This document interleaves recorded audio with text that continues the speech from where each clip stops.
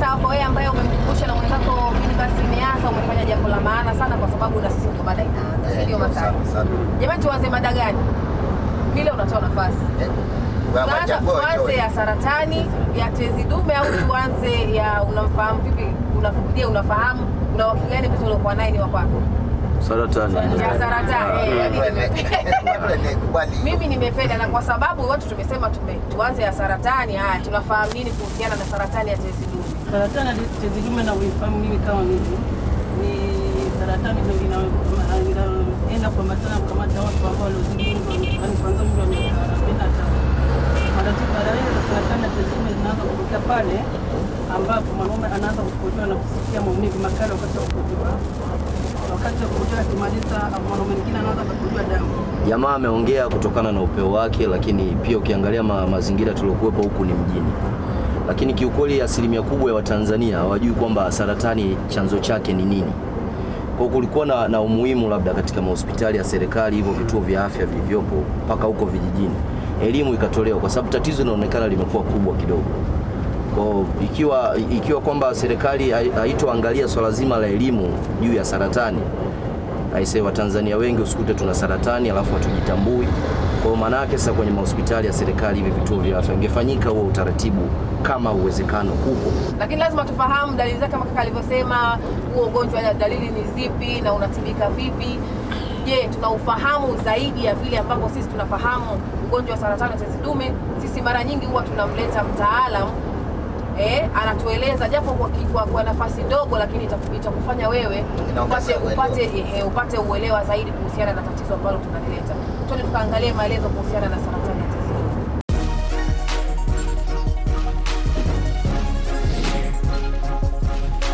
Tezi dume ni kiungo katika mwili wa binadamu, lakini binadamu wa kiume anakuwa na hii tezi, ni kama tezi nyingine zote ambayo inazalisha majimaji, na kawaida inakuwa inazalisha majimaji ambayo yanapita kusafisha njia ya, ya mkojo au njia ambayo zitapita mbegu za kiume. Tezi dume ni kama jicho uliokuwa nalo, kama ulimi uliokuwa nao, binadamu wote tunayo tezi dume ile tunayo uh, unavyokuwa kama viungo vingine vinavyokuwa. Kwa hiyo kwa tezi pia hivyo hivyo, unavyokuwa ile tezi nayo ina inakuwa. Kwa ndio maana ni ugonjwa ambao unatokea katika umri wa wa ukubwani kuanzia miaka 45 kwenda juu. Sasa tatizo linatokea, yani kubadilika kuwa saratani, ni kwamba ule ukuaji wake, maana kukua kwa tezi dume unatokana na mgawanyiko wa zile chembechembe hai. Sasa kama kutakuwa na hitilafu kwenye vinasaba ambao tunaita mutation, yani maanake mgawanyiko utakuwepo, lakini unakuwa kwa kasi ya kubwa, unakuwa kasi kali sana, na pia zile chembechembe hazifi, kwa hiyo zinajikusanya. Zikijikusanya zinatengeneza uvimbe, uvimbe katika ile tezi, na uvimbe kwa sababu ni saratani, uvimbe, baadhi ya hizi chembechembe zinaweza zikasambaa mwilini. Dalili nyingi zinahusiana na kuvimba kwa hii tezi dume, na kuvimba kwake kunaleta madhara katika mfumo wa, wa mkojo.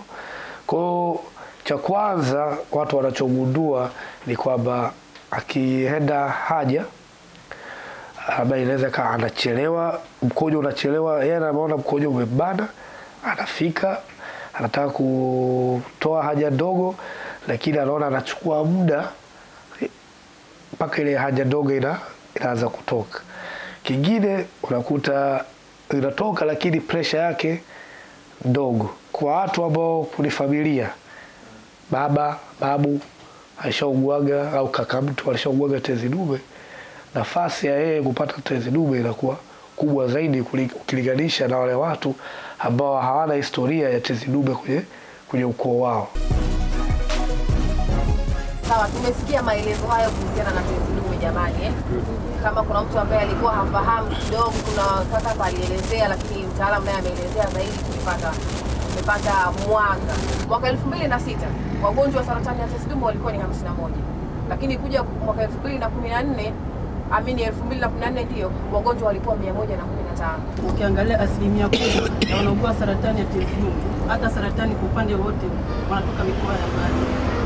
Utakuta watu wa kule mikoani wanakuwa nyuma kwenda kupata vipimo na kwenda hospitalini. Kwa hiyo zinavyowakumba kutoka kule wanapata nini moja kwa moja rufaa wanakuja katika taasisi ya Ocean Road pale. Ndio maana unakuta ongezeko linakuwa kubwa kwa kutoka vijijini mpaka hapa ilipofika. Ukiangalia kwa watu walitoka vijijini ni asilimia themanini na moja. Asilimia chache na watu wanatoka hapa hapa ndani ya jiji la Dar es Salaam. ule ugonjwa ukisema kwamba watu huyu wakufa tu, hawajui kwamba yale ni matibabu ambayo yanatibika. Unaenda hospitali unatibiwa kama magonjwa mengine, kama umewahi unatibiwa unapona. Sasa huko ukishasema kwamba huyu ni wakufa tu, kama tu kama marehemu wa leo na kesho. Naona watu wanaogopa kusema labda naomba ugonjwa. Wengine wanakaa na wengine wana elimu imekuwa duni, kwa sababu wengine wanajua kwamba ukienda hospitalini tu ukishagusa ile ule ugonjwa unakufa. Kwa hiyo bado naona elimu watu hawajaelimika kuhusu ugonjwa na jinsi ya kutibu. mi nafikiri watu tu waondoe uoga na waondoe kujificha. Ndio maana nikasema mficha maradhi mauti yataumbwa Mi nimesalimia leo hivi. Swala ni kwamba kwa mtu ambaye anawahi kwenda kupi- kupima na akagundulika kwamba ana hilo tatizo, asilimia tisini ya watu ambao wanapata matibabu mapema kabisa huwa wanapona, si ndio? Swala ni kuchelewesha. Ndio ugonjwa ukishakuwa steji ya nne ya tano huko huwezi kabisa kupona, maana wewe utakuwa unaishi tu kwa kupunguza nguvu ya ugonjwa. kuna kitu ambayo mimi nanisitua mpaka sasa hivi. Nisikilia kuna nani ku ma, ma, Mariakani banaita ile a- America nini? America Cancer Society. C- C- CSA mwana hiyo? Mwaka elfu elfu ngapi? Elfu mbili elfu mbili na nane. Wa- wanagundua wanaume sita. Ukikutana nao hivi moja ene saratani nani, saratani ya sasa hiyo na kila mwaka akajua kama hiyo saratani kwa, kwa, kuna wana, wanaume wanne wanaugua saratani kila mwaka, lazima ukikutana nao wanaume sita wanne wanaugua saratani. Na hiyo kati ya hiyo saratani, kwa sababu saratani ziko fatauti fatauti, kuna ya koromeros, kuna nini. Sasa kati ya hiyo nne lazima moja itakuwa ni ya tesiko dume hiyo. Hasa nikapiga nikasikilia tasmini. Kwa mfano hiyo ikisemekana, lakini kama hiyo kwende mbali siku yao kama ni hapa Tanzania itakuwaje?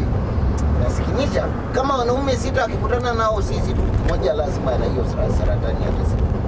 Ndio nikauliza kwa mfano sisi hapa hiyo hiyo saratani ipo vile ambayo hiyo kwa kulingana na hiyo tasita Takwimu ambayo imefanyika. Tafiti ambayo inafanyika kule. Kwa hapa kwetu tunaonaje? Kimsingi kama kwetu hapa Tanzania inatisha, kwa sababu tayari tumeshashuhudia ambao wameshaathirika, wameshafanyiwa.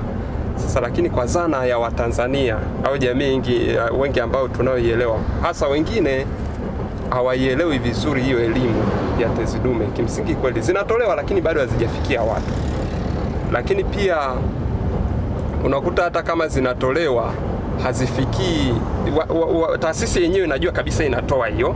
Hata magonjwa haya nani matibabu haya na, nasikia tayari ameshaanza kutolewa kwenye mahospitali.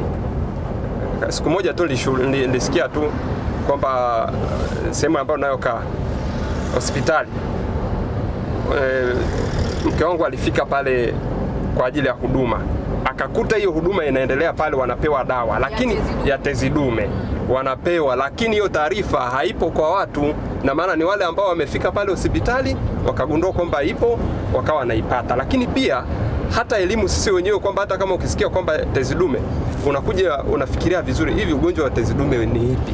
Inakuja ile ile kwamba labda ni, ni, ni, ni, ni busha Sawa, zana ina, zana inakwenda ile ile sawa, kwamba ni nini ni busha.